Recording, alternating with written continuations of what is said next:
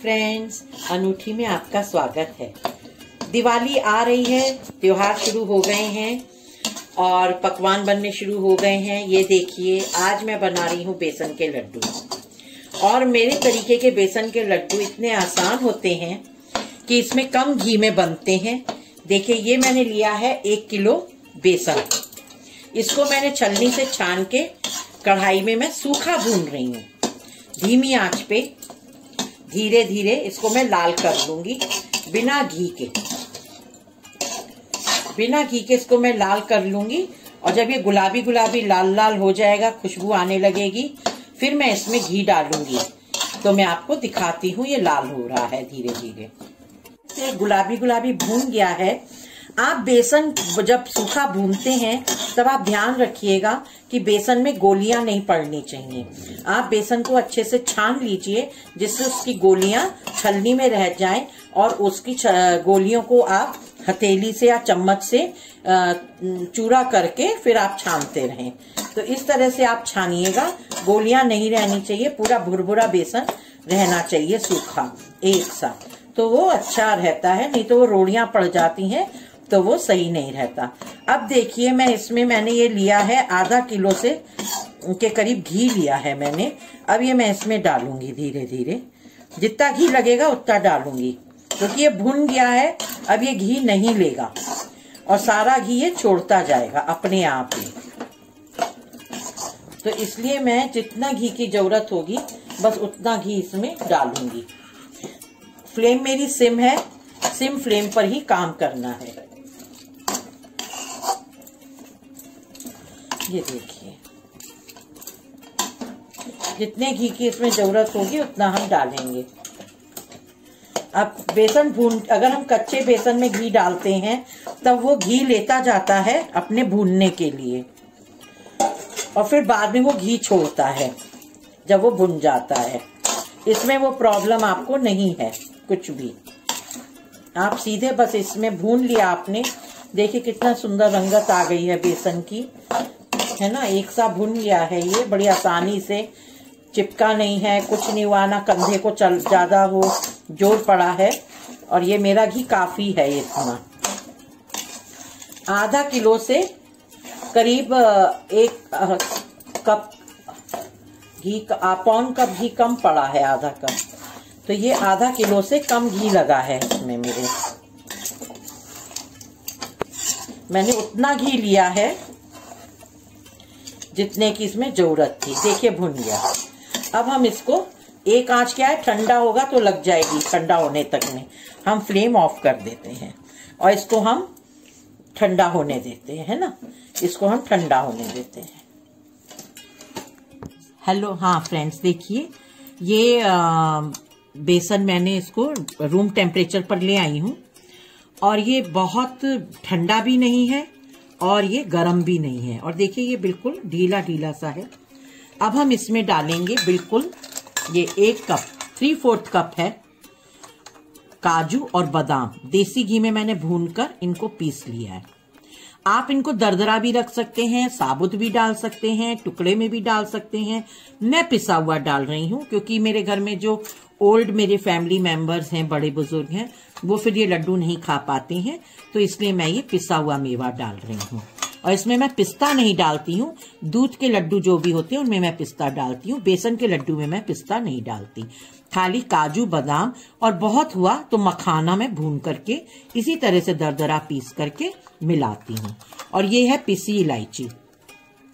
पिसी इलायची मैंने ली है वन टेबल स्पून आप कम भी ले सकते हैं, ज़्यादा भी ले सकते हैं। तो हम ये दोनों चीज़ें इसमें मिला देते हैं। और अब हम इसमें अच्छे से इसको मिला देंगे।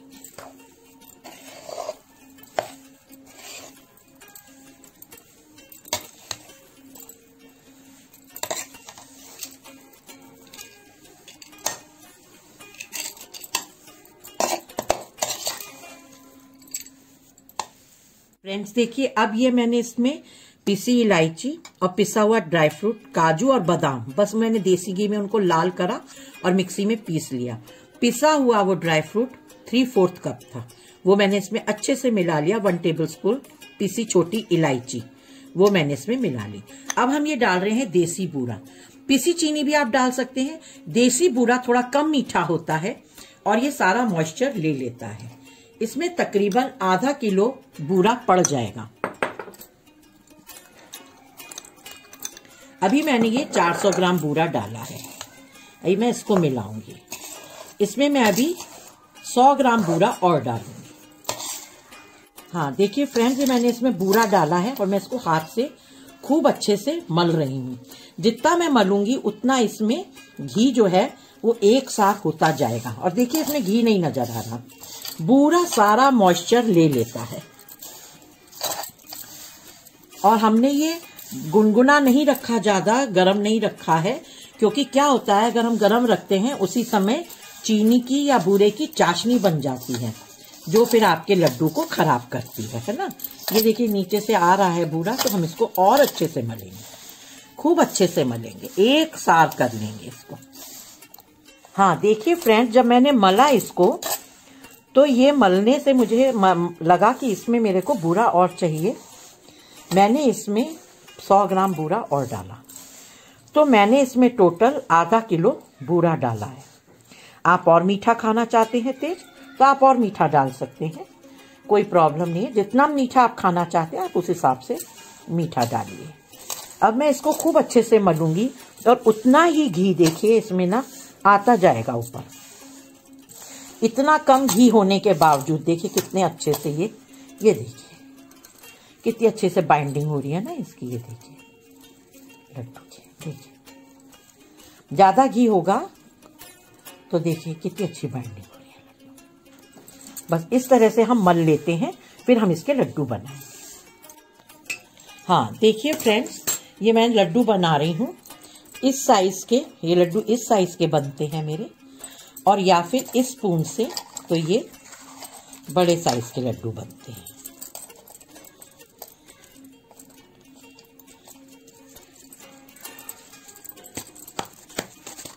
ये देखिए। इस साइज़ के ये देखिए इस साइज़ के. तो आप जिस साइज़ के भी लड्डू बनाना चाहते हैं, आप उस साइज़ के लड्डू बना सकते हैं. मैं लड्डू बना रही हूँ आपको दिखाती हूँ. हाँ फ्रेंड देखिए, मैं लड्डू बना रही हूँ. आपको दिखाती हूँ. इससे क्या होता है, एक साइज़ के लड्डू बनते हैं. हाथ से क्या होता है लेने में? अलग अलग साइज़ के लड्डू बनते हैं या वो होता है तोड़ने में भी वो लगता है हमको। तो ये आप देखिए। तो मैं आपको लड्डू बना के दिखाती हूँ।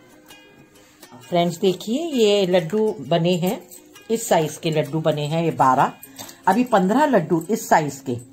और बन सकते हैं इतने मटेरियल में। तो मैं बना रही हूँ, लेकिन मैं कुछ, अब लड्डू बड़े बनाए हैं। अब मैं कुछ इस साइज़ के छोटे लड्डू बनाऊँगी। तो इसीलिए आप चाहें तो सारे बड़े बना सकते हैं, आपके ऊपर है। आप किस साइज़ के लड्डू बनाना चाहते हैं? तो देखिए कितने लड्डू बने। करीब इस साइज़ के करीब मेरे तीस एक लड्डू बन जाएँगे इतने मटेरियल में। तो आप बनाइए एंजॉय करिए, दिवाली पर सबको खिलाइए और मेरे चैनल पर आने के लिए बहुत बहुत धन्यवाद। थैंक यू सो मच और मैं उम्मीद करती हूँ आपने एंजॉय किया होगा। आप मेरे चैनल पर अगर अभी नए आए हैं तो सब्सक्राइब करिए और अपने फ्रेंड्स को, अपने मिलने वालों को फैमिली में सबको बताइए सब्सक्राइब करिए और लाइक करिए शेयर करिए और एंजॉय करिए कमेंट करिए आपको कैसा लगा। और मैं उम्मीद करती हूँ आप एंजॉय कर रहे होंगे। आते रहिए मेरे चैनल पर। अनूठी में गुफ्तगु में निम्रोलॉजी में भी चल रहा है आजकल और अंक ज्योतिष में। और गुफ्तगु में चल रहा है आजकल अर्जुन और धर्म युद्ध के मेरे स्पीकिंग ट्री पे मैं लिखती हूँ। तो मेरा विचार मंथन ब्लॉग है स्पीकिंग ट्री पर। तो उसका भी मैं आजकल शेयर कर रही हूँ अपने भाग, अनुच्छेद। आप उसको भी देखिए, सुनिए और आनंद उठाइए। और फेसबुक और इंस्टा पे भी अनूठी है। आप विज़िट करिए। उनके लिंक्स डिस्क्रिप्शन बॉक्स में दिए हुए हैं। मैं आशा करती हूँ आप एंजॉय करेंगे. Thank you so much friends thanks a lot